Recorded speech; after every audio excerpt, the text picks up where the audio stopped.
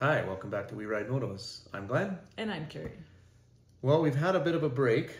Uh, it's it's been a couple of months since we've done this. Mm, probably more than a couple, yeah. Yeah, I think we stopped filming when we left for Morocco. So, and that's Yeah. next episode series we're gonna do. But Yeah. we're gonna get back into this. It's now, what is it? October of 2024, and we're gonna go back into early October 2022 is when uh, this episode would would have been filmed, or late Yeah. late September, early October. Yeah. This episode has us leaving Florence, headed to Pisa. There's a voice that keeps on calling me down the road. It's where I'll always be. Every stop I make, I make a new friend. Can't stay for long, just turn around and I'm gone again. Maybe tomorrow I'll wanna settle down. Until tomorrow, I'll just keep moving on.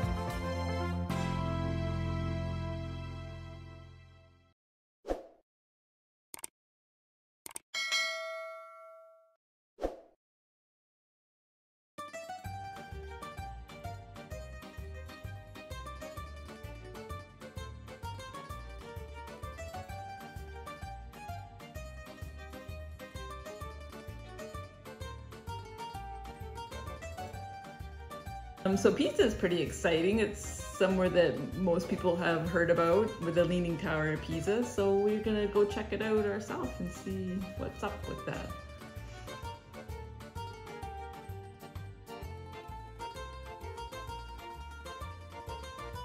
Well, the, the Pisa complex is three buildings.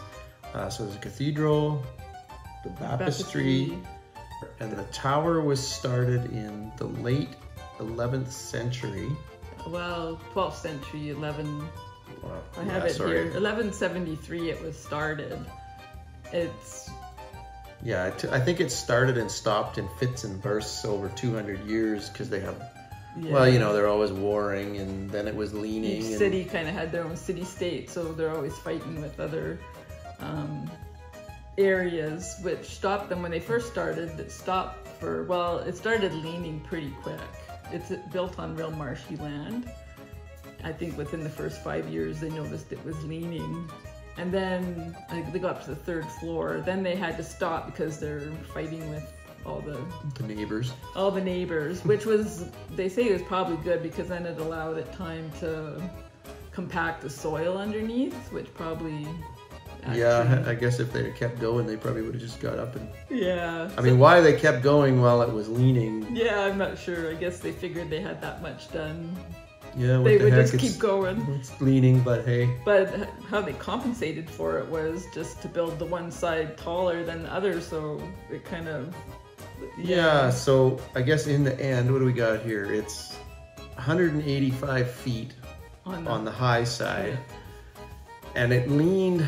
By the time 1990 came along, it was leaning at five and a half degrees, so it was over pretty good. Yeah, so it was 185 on the high side, 183 on the low side. So two foot difference between the two sides, Yeah, which so is pretty substantial. We didn't actually climb this tower because we just spend our time in Florence climbing a lot of stuff. Oh. And, and Glenn, he's a little scared, so he didn't really want to go in the leaning tower. putting that in.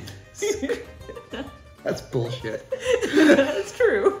Well, still, I made it on top of that Duomo in yeah, Florence, so. didn't think you want to go up a leaning tower. No. It was a little. Uh, So in uh, 1993, so between 93 and 2001, they did a restoration attempt where they basically put in these huge anchors, wrapped some cables around it, and then undermined the high side and pulled it back to basically four degrees. Yeah, they didn't want to pull it back too far because then they would lose their tourism. The unleaning tower Yeah, of Pisa, if they, yeah. so, but so they had to bring it enough so it wouldn't fall over because then they would lose tourism, and but not far enough to make it. Boring. Yeah. So anyway, so now they figure it's good for 300 years. So. And they had to vacate anybody that was in the fall zone of the tower. If they lived anywhere there, they had to vacate all those people because they weren't sure what might happen while they were doing this.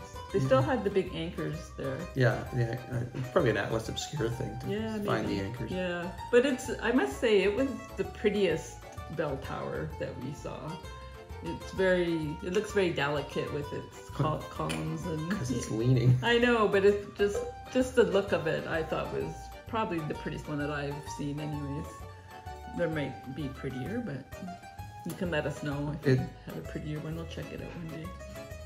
It did survive uh, World War II because the Allies thought that the Germans had occupied it, but uh, apparently They were they, were got, the Allies got a some some military guy got in there and he realized that they didn't and decided it looked too good to blow up, so they spared it from thank goodness. Yeah. demolished in the war. That's for sure. Yeah, that was definitely very fortunate. But it, it was very touristy there, but it was actually quite nice in Pisa. You could probably have spent a night or two there. They have a, a nice town area that we, Didn't go to yeah, we went through it and grabbed some lunch down there. Two years ago. I don't yeah. remember details yeah, like that. Yeah, It I remember it being quite nice. Yeah.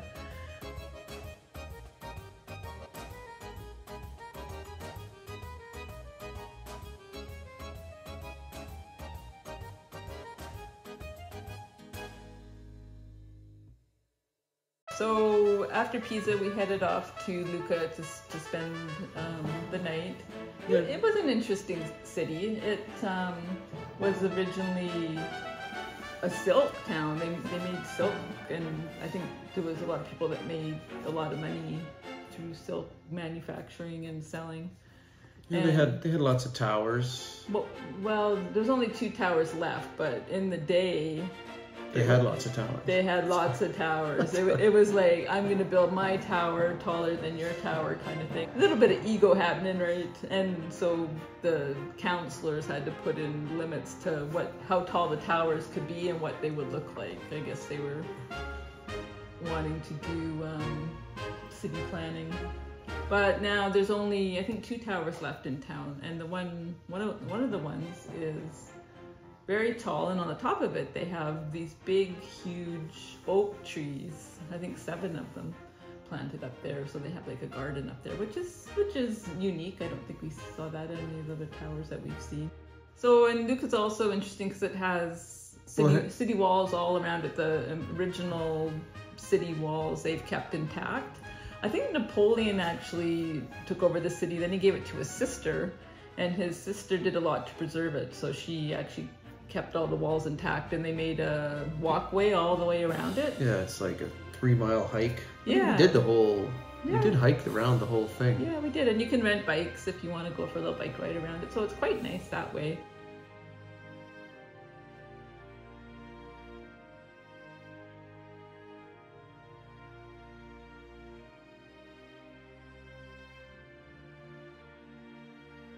One of the best gelato Yeah. places in I don't I don't want to say Italy, but but a very well known gelato stop. So Somebody we, had told us about we it. checked it out.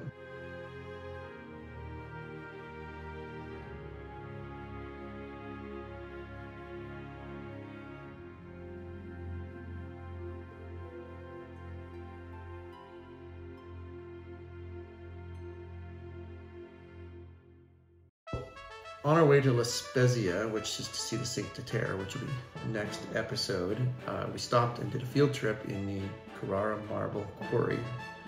And there was a actually a James Bond movie was filmed, uh, 2008 Quantum of Solace, which we've actually made a couple of stops along the way to uh, for this movie. yeah. A couple of where couple of the places we've gone to that they've been filming, so that was pretty cool. Yeah. Is over 650 quarries there, but I think about half of them are not used anymore.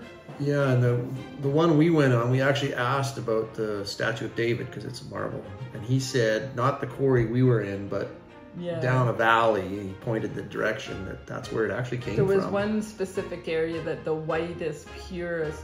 Um, It doesn't have imperfections in it. yeah, that's where a lot of the statues came from, but it's pretty much done now. Yeah. That This- area.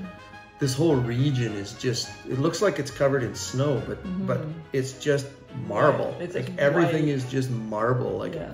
But it was really interesting. They take you up.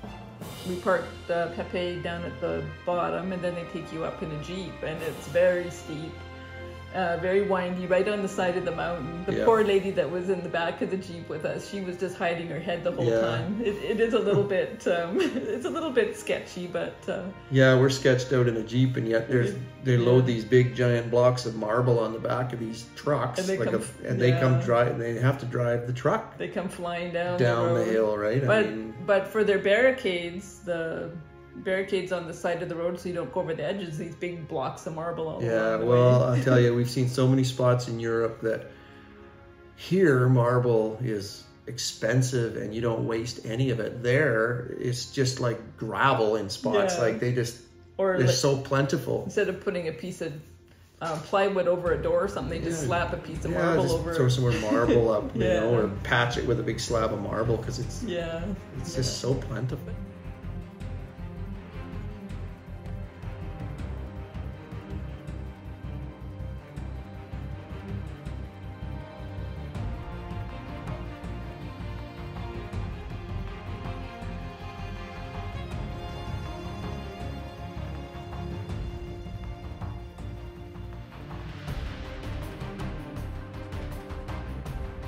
But it, it was really interesting. He sh- showed us how they cut it, and you could look down on the quarry Yeah, and see big- exactly what they were doing. Big cable saws, they Yeah. bore in and then fish the cable through and then just Yeah. saw it out yeah. that way. So that was a really good stop. It's not a real popular thing, I don't think, and and it was really reasonable to for the tour too. So It was nice. I I enjoyed really that. enjoyed it because it was well something Something something, construction Yeah. kind of like and not you know Yeah. seen a lot of churches and cathedrals Yeah. and we see what which is fine, but It was kind of neat to see where all the blocks. yeah, I really I, I enjoyed it. I, I think it's Yeah. you know if you're in the area, it's you should probably stop Yeah, and check and it, was beautiful up there. Like the mountains were just absolutely. Well, we had a great day for sure. Yeah, yeah.